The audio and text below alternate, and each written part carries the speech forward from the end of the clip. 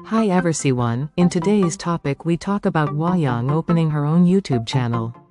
This is Ohnick News, short, informative and always up to date. We provide you with the newest K-pop and Korean related news every day, so make sure to hit the subscribe button for the latest infos and trends. Thank you DGOD Dinhasty Clothing for sponsoring this video. If you are interested in a free giveaway, stay tuned until the end for more details. Let's get it started and dive into it. Former T-Ara member Hwayoung has opened her own YouTube channel. On October 14th, Hwayoung shared the announcement of her new YouTube channel on Instagram.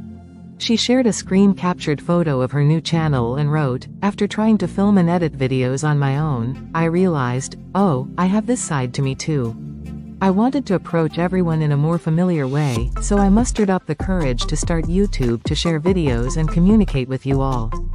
She continued, I know I might be awkward, lacking, and inexperienced, but I hope you can watch with a relaxed mind.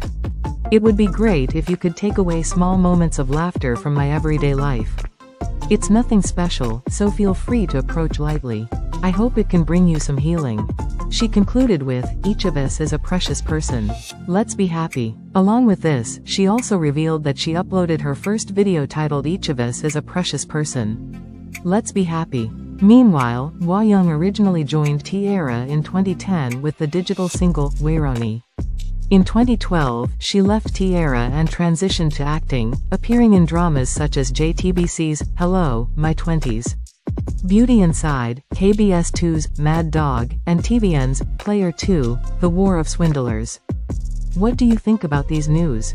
Please let us know in the comments. This video was sponsored by DGOD Dinhasty Clothing.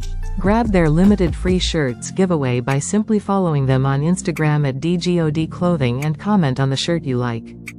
Subscribe and turn on notifications for your daily doses of the latest K-pop and Korean related news.